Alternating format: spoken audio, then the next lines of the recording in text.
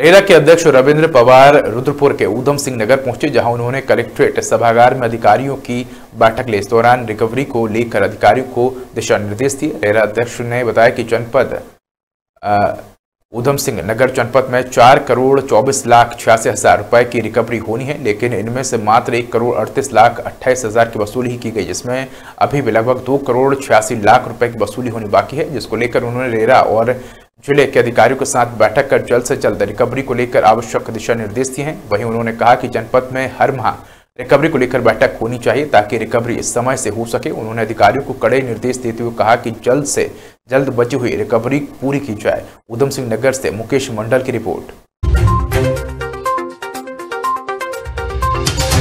मैंने बैठक बुलाई थी।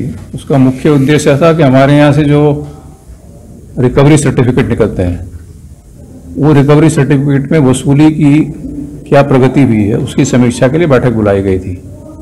तो उसी के लिए मैंने समीक्षा की और जो मुझे जानकारी दी गई है कि जो रिकवरी सर्टिफिकेट में टोटल अमाउंट था चार करोड़ चौबीस लाख छियासी हज़ार उसके विरुद्ध में एक करोड़ अड़तीस लाख अट्ठाईस हज़ार चार सौ चौहत्तर की वसूली हुई है।